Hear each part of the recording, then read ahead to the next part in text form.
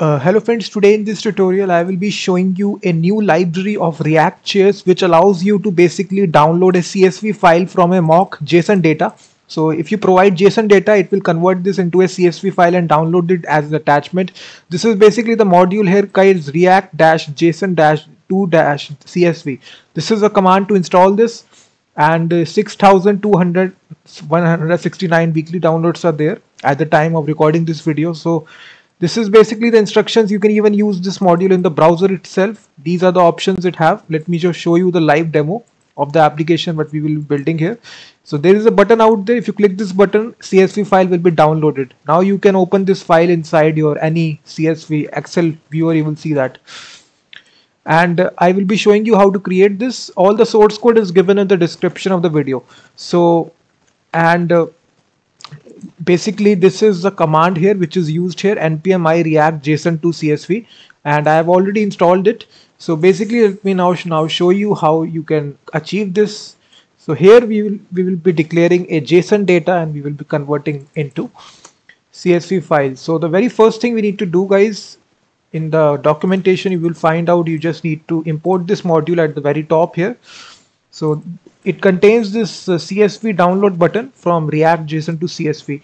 So right inside here, we will embed this button, CSV download button. And this basically takes some options. First it takes is the mock data. If you just go to the documentation, you will see there is a data property that it takes, data property.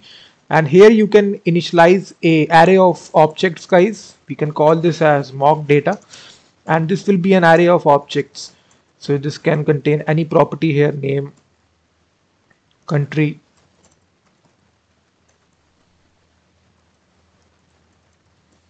So basically what you can do you can put a comma here.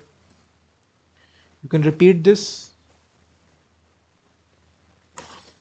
So this is basically array of object. Now we can initialize this data. We can simply pass this mock data and now this is complete. You will see. Now the application is complete. If I click this button you will now see uh, sample export.csv will be downloaded and uh, you can view this file inside your excel view. You will see that we have two columns name country and these are the uh, rows of data which is con successfully converted into comma separated value. And also it takes additional option. If you want to modify your file name let's suppose I want to change the file name to file.csv so now what will happen? If you click this now file.csv the file name will change here. So you can customize the file name by passing this option. The third option you can pass here if you want to change the column names you can pass a headers array here. So let's suppose I want to customize this uh, header custom name custom country.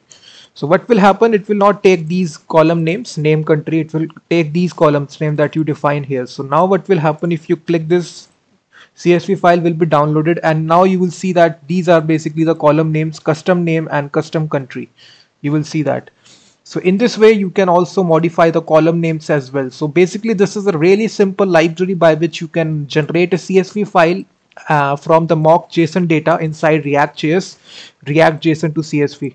All the source code is given in the description of the video guys. Thank you very much for watching this video.